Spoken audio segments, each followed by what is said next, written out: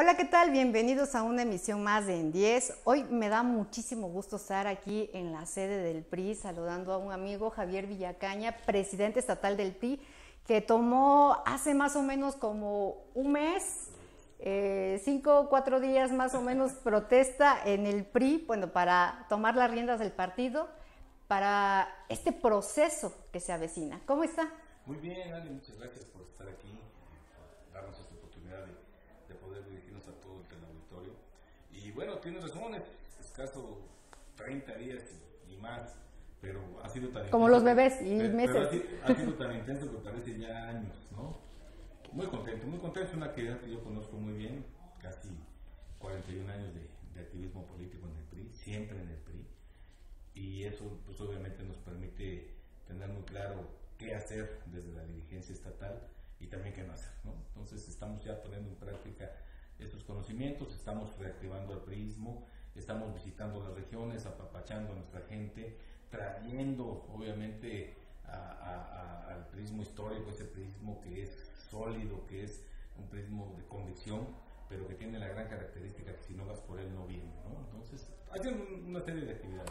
Hemos visto, bueno, muy, lo hemos visto muy activo en redes sociales también, eh, como en la cuenta del PRI, todas las actividades que está haciendo, pero hace unos días anunciaron que hubieron eh, eh, el nombramiento interno del PRI, estos cambios que se realizaron. Correcto.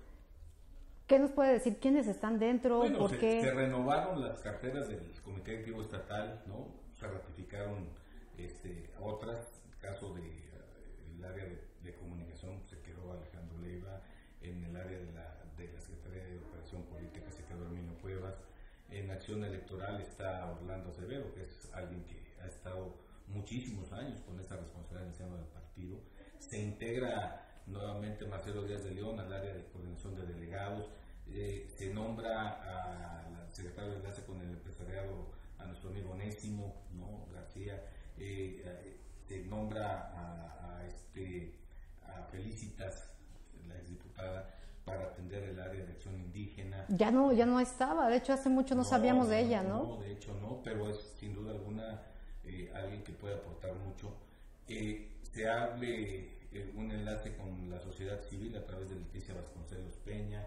eh, eh, la secretaria general, pues obviamente es una gente que tiene mucha presencia en todo lo que es el área de la cañada. En fin, que es un equipo muy, muy bonito de gente de experiencia, de trabajo, que obviamente tiene una gran responsabilidad, que desde ahí podamos llegar hacia otros sectores de la sociedad, ¿no? a través de sus diferentes carteras.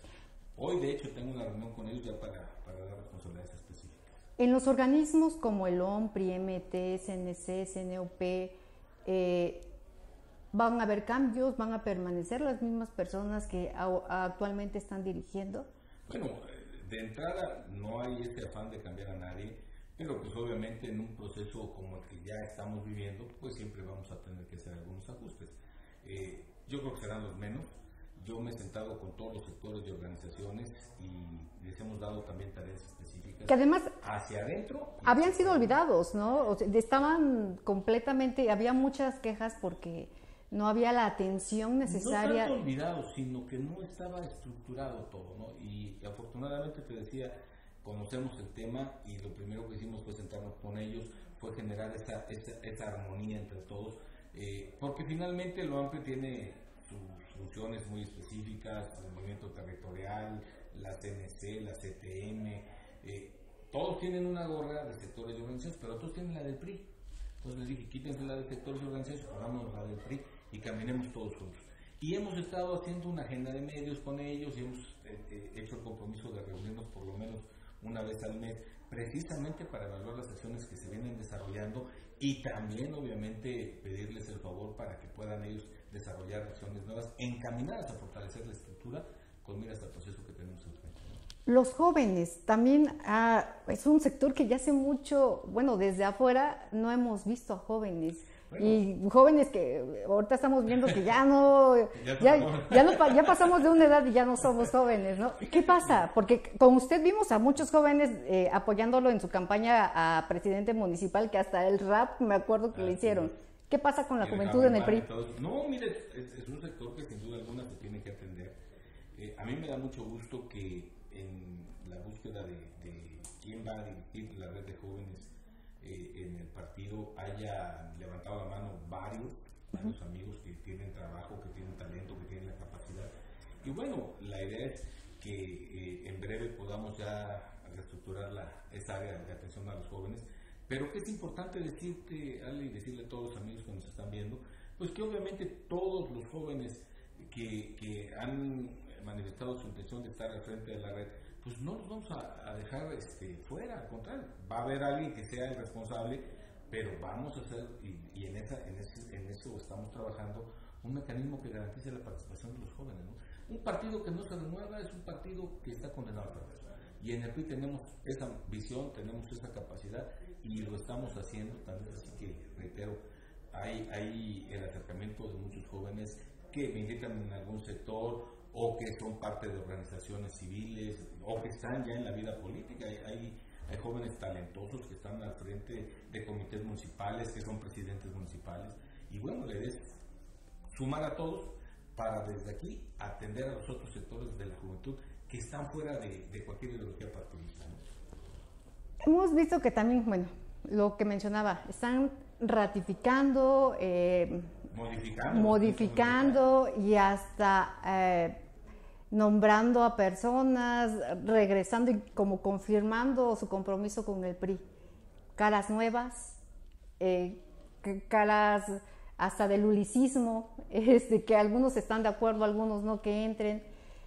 ¿Cuánta gente ha regresado al PRI? Mucha, mucha. Y además, no Más o menos, ¿con qué porcentaje? no, no tengo el número así exacto, pero, pero hay mucha gente que, eh, más allá de regresar, no estaba participando. ¿no? Bueno, que se decía que políticamente estaban muertos, ¿no? Repente, no? De repente estaban ahí este, en la tranquilidad de sus domicilios o, o simple y sencillamente no acudían a los llamados. Ahora hemos visto, y lo puedes constatar ahorita, la agenda que tenemos la sala está llena de gente que quiere platicar con el presidente, que quiere platicar con la dirigencia y que vienen en ese fan de decir en qué ayudo, ¿no? Y yo creo que es importante darles cabida a todos. Eh, también hay que destacar, hay mucha gente que no es priista, que está acercándose y que dice, oigan, ¿saben qué? Después de vivir lo que vivimos con la famosa 4T, entendemos que estábamos viviendo en el error. También bienvenidos. Cada quien habrá que ubicarlo en su apartado para que aporte lo que tenga que aportar. Pero en esta etapa, y sí lo quiero destacar, Ale, estamos nosotros apapachando nuestra estructura. Al prismo histórico, ese prismo que ha estado con nosotros, llueva, trene, relampaguee, que está consciente que hubo gente, gente, no todos, que han cometido errores y que siguen obviamente apostando de la PRI porque conocen que es la mejor plataforma, porque saben que hay la experiencia y la capacidad y que además en estos momentos ya puedes contrastar, contrastar con otros, otros gobiernos eh, que fueron emanados de otros, otras fuerzas políticas y sin duda alguna la gente dice, el PRI sabía gobernar. Como el testimonio que ahorita están dejando correr de don Esteban, Esteban Feria Ortega, que tiene 70 años en el PRI. Es correcto. Hay que darle voz a esa gente. A ver, de repente a los priistas, como parte de una estrategia que vino de otros partidos, los empezaron a denostar, ¿no? Y se aprovecharon de los errores que cometieron dos o tres. Y que obviamente los mismos periodistas estamos conscientes de que si cometieron errores que se les sancione. Pero no puedes generalizar. Hay mucha gente como Esteban precisamente que tiene 70 años, que ha militado toda su vida en el partido y que no tiene mácula, no tiene ningún señalamiento. A esa gente hay que darle voz, porque esa gente es de verdad lo que hace fuerte al partido. Ellos son el partido. ¿En qué es diferente ahora el PRI? Bueno, pues obviamente el partido eh, está, está generando acciones que nos permitan retomar causas populares, que nos permitan hacer nuestras las demandas de muchos sectores de la sociedad, pero además, como te decía Ale, ya ahorita ya podemos contrastar, ¿no? La famosa 4T vendió un sueño, para mí tan lejos, Oaxaca de Juárez, el gobierno que hizo su servidor con el gobierno que hizo Morena, pues ni siquiera punto comparación. ¿Cuándo se había visto que no les pagaran a los trabajadores aguinaldos, sueldos? Fuimos rehenes por muchas que una autoridad no diera la cara. Entonces ahora sí tenemos capacidad de contrastar. Con un adeudo que, que, dejó al municipio impresionante. tiene sumido a la nueva autoridad en, una, en, un, en un brete. En un socavón. Sí, que, quién sabe si pueda sacarlo. ¿no? Sí, está muy complicado. Es, eh, ahora que está esta lucha con eh, la 4T interna, el PRI va a aprovechar este momento para Claro, a ver, nosotros procesamos el proceso, procesamos la, la elección de nuestro abanderado en unidad, en completa unidad. Ya están los aspirantes participando, sumando, aportando. Y enfrente no, enfrente todavía no sabemos ni siquiera si hay un candidato o candidata, ¿no? Exacto, todavía no se define. Entonces, obviamente que eso lo tenemos muy claro, les va a generar una factura bastante costosa a ellos y nosotros estamos transitando en una sola ruta, sumando al tren a muchos, como te decía, que hay que ir por ellos, que hay que darles una responsabilidad, que hay que apapacharlos, a estructuras con las que hay que hacer nuevos compromisos, pero vamos ya caminando, ¿no? ¿Hay pláticas ya con, con, el PAN PRD rumbo a una candidatura común? Porque por ahí vimos una foto que, que subieron a las redes sociales donde está la presidenta del PAN y me parece que también el diputado de, eh, del, del, PRD eh, con uno de los... Hay ruta. Tenemos tiempos fatales, que es a mediados de marzo, pero esa responsabilidad la está, la está llevando a cabo de manera directa el delegado del CEN, Alejandro Guevara Cobos, pero sí, obviamente, sabemos que en la matemática política 2 más 2 son 4, ¿no?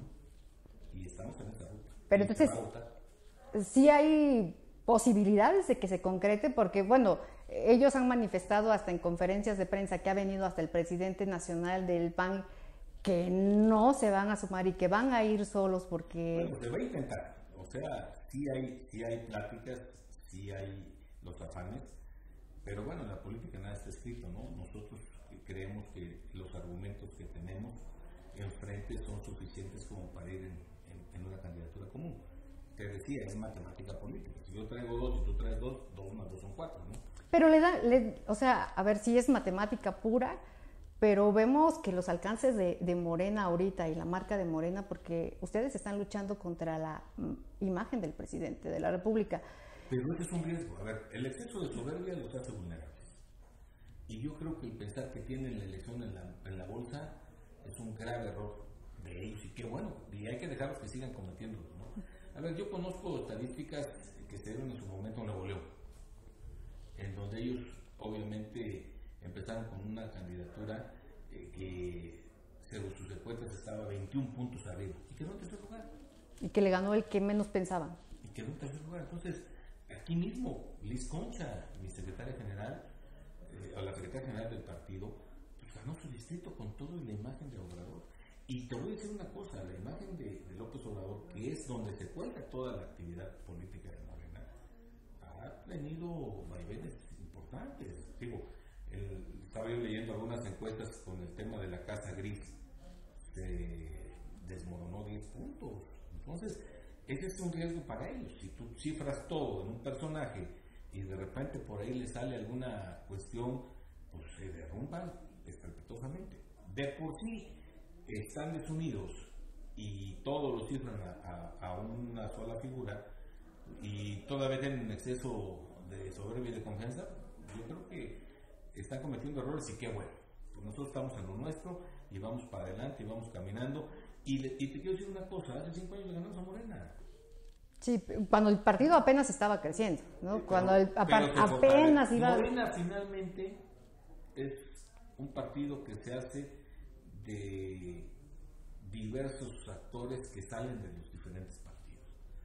Hablan tanto del PRI, hay muchos actores de primer nivel de Morena que eran PRIistas, el mismo presidente. Egresados del PRI. El, mismo presidente de la República fue presidente del PRI en Tabasco. Así es. Ricardo Monreal era senador del PRI. Y así te puedo decir. El delegado también que asignaron para Oaxaca, Oscar Cantón. Era también, fue diputado federal priista. Entonces, es, es, a veces la gente no quiere acordarse de eso y hay que recordárselo. Porque en el PRI, pues obviamente hay toda una ruta de formación política que no tienen otros partidos. Yo lo veía en sus momentos con otros partidos, como el, tema de la convivencia de las tribus los debilitaba mucho. En Morena sigue pasando lo mismo. También es así que hay cientos de grupos de diferentes líderes. Tú lo viste en la elección de Morena, cómo se dieron hasta con la cubeta por vídeo contra el señor Delgado y, y, con todos. Y, y, claro, esa es la realidad. Entonces, ellos por eso todos lo cifran a su, a su gurú, su mesías, pero eso también obviamente los hace vulnerables. Desde su óptica. ¿eh? De su óptica. Vemos a, a, a mm, pues los servidores de la nación o siervos de la nación, como le quieran llamar, caminando por todas las poblaciones. Bueno, mientras aquí dos personas están peleando en esta lucha por ver quién va a ser candidato o candidata, pero los vemos en, en, en, los municipios no perdiendo el tiempo promoviendo la, la imagen del y presidente. la ley, ocupando recursos federales para hacer campaña proselytista a favor de Morena. Y vemos cómo en su momento hubo actores políticos de Morena tratando de capitalizar las vacunas. Y vemos cómo hay quejas de gente que recibe ciertos programas federales en donde los están condicionando. Pidiendo aplausos y, y para el presidente. ahorita una cuestión ilógica de una revocación del mandato que en el, en, en el, esquema de la participación ciudadana es un mecanismo para que si no estás de acuerdo tengas manera de protestar contra quien está al frente de, del Poder Ejecutivo. Yo nunca había visto que el propio este, Poder Ejecutivo o el representante del Poder Ejecutivo fuera el que esté promoviendo una ratificación violentando la ley, porque lo que, lo que marca eh, la Constitución es una revocación del mandato, sí. no una ratificación. Y aquí preguntémonos, hay cientos de, de, de, de, espectaculares, brigadas uniformadas que trae una asociación civil. ¿Y de dónde se fondea? ¿Por qué no la UIP determina eh, que en lugar de, que los periodistas que trabajan en lo privado saquen a reducir sus, sus, ingresos, ¿por qué no nos dice de dónde está sacando esa, esa, es, es, esa asociación civil que se llama que siga la democracia? ¿De dónde está sacando tantos recursos para hacer cuatro eventos un fin de semana, con movilización de camiones y todo, y el pago de brigadas. La torta no vaya, y... no vaya haciendo que esas brigadas pues sean los que reciban los apoyos de jóvenes construyendo el futuro, ¿eh? Sería lamentable. El PRI va a llegar a esas comunidades donde no llega la tecnología, donde es de difícil acceso. Bueno, es el afán, es el afán. La campaña es muy corta, es dos meses, para un estado como Oaxaca con 570 municipios y una, una geografía complicada, pues obviamente vamos a tratar de llegar, pero siempre se, siempre se tiene una estrategia, ¿no? ¿Qué te marca la estrategia? Trata de estar más donde obviamente tienes el mayor número de votantes y sobre todo como partido donde tienes el mayor número de, de simpatizantes y de militantes. ¿Está preparado el PRI para lo que viene? El para PRI- la el lucha PRI está contra él. para lograr su objetivo, que es ganar. Perfecto. ¿Algo más que nos quiera compartir? Agradecerte, bueno, decirle a toda la militancia que nos está escuchando que estaremos visitando las diferentes regiones. Eh, el día de mañana tenía yo programado estar en la cañada, una disculpa porque no, no voy a poder estar, pero la semana que sigue vamos a estar en la costa, hoy estoy en Ejutla, y así estamos caminando, tocando la militancia, reactivándola, apapachándola, pero también dando Escuchándola. Sí, claro, ahí- es la primera obligación. Mujeres. Sí, no, las mujeres, fundamental la participación. Y, y obviamente que en su momento eh, el abanderado tendrá propuestas muy específicas para, para obtener el respaldo de las mujeres oaxaqueñas. Pues muchísimas gracias por darnos esta entrevista y platicar un rato con, con Libertad Oaxaca. Le agradezco mucho su atención. Y bueno, pues ya escucharon al presidente estatal del PRI, Javier Villacaña. Eh, ya están preparados para lo que viene, siguen caminando y vamos a ver qué pasa más adelante en esta carrera para elegir a quien gobierne el estado de Oaxaca. Mi nombre es Janet Martínez y me da mucho gusto saludarlos. Hasta la próxima.